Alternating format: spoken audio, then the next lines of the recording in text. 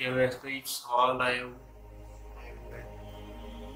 किसी भाई का या कि जब रिजाल कत्ल हो जाएगा और उसके बाद यजूज मजूज निकल आएँगे और उनके साथ बात करेंगे जैसा जिसे मांग जाता है तो उसके बाद यजूज मजूज भी चले जाएँगे दुनिया से सारे इस्लाम दुआ कर फरमाएँगे तो वो भी उन्हें भी अल्लाह ताला वजह से कर देंगे तो उसके बाद क्या होगा कब तक दुनिया कहेंगे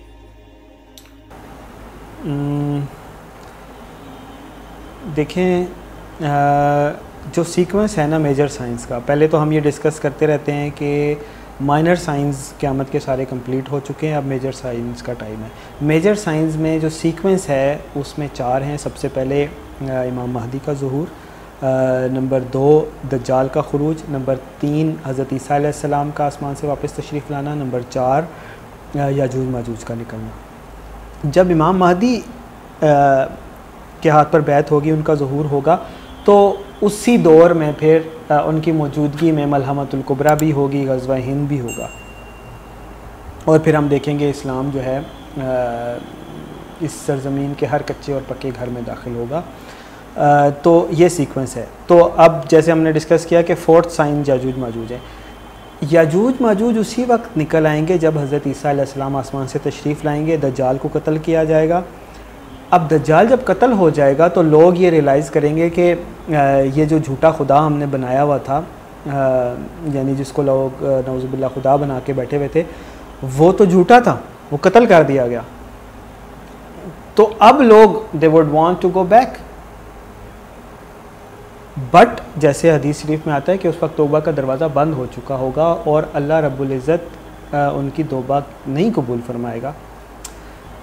तो फिर अल्लाह ताला याजूज माजूज को खोल देगा, जो उन सारे लोगों को जिन्होंने दज्जाल की पूजा की होगी, उनको ख़त्म कर देंगे नस्त नाबूद कर देंगे। लेकिन हज़रत ईसा अपने कुछ साथियों के साथ कोह तूर पे होंगे, हमें रवायात में मिलता है। या किसी पहाड़ी इलाके पे होंगे या किसी महफूज मुकाम पर होंगे, जिनको अल्लाह ताला हज़रत ईसा उनके साथियों को महफूज रखेगा दज्जाल से। यानी कि जब दज्जाल भी कत्ल हो गया और याजूज माजूज ज़मीन पर आ गए, उन्होंने ज़मीन को ख़त्म कर, यानी ज़मीन में तमाम ऑलमोस्ट लाइफ को ख़त्म कर दिया, चाहे वो एनिमल लाइफ हो या प्लांट लाइफ हो या जो जितनी भी लाइफ है, वो इवन जानवर, इंसान ऑलमोस्ट हर चीज़ ख़त्म कर देंगे।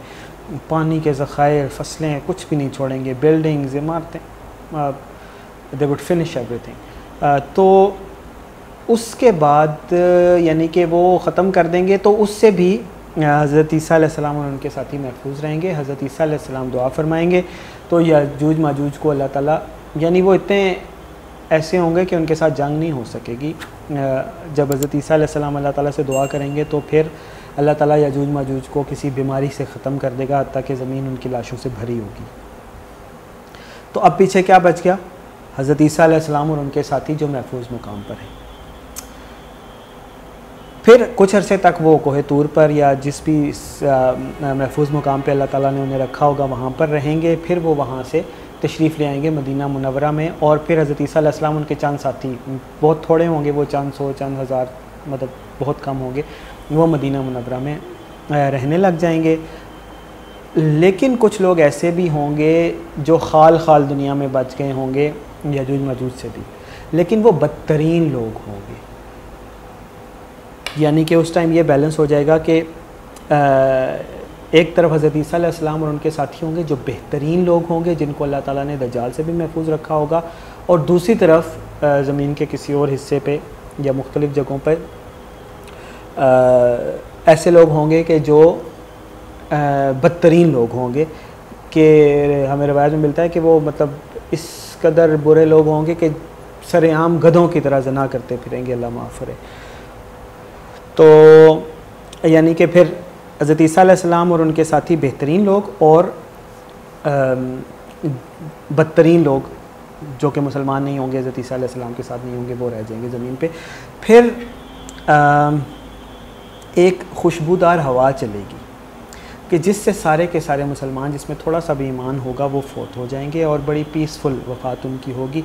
ऐसे होगा कि यानी मुसलमान एक को दफना कर आ रहे होंगे तो दूसरा दूसरे को दफना कर आ रहे होंगे तो तीसरा फोत हो जाएगा। यानी कंटिन्यूस ये सिलसिला चल पड़ेगा हती सारे के सारे मुसलमान वफात पा जाएँगे।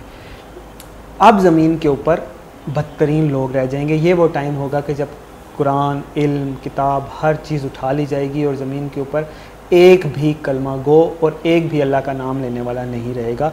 ये वो लोग होंगे जिनके ऊपर क़्यामत कायम होगी। होपफुली आपको क्लियर हो गया होगा। स्टिल अगर क्लियर नहीं हुआ तो please you can feel free to ask जजाकल्ला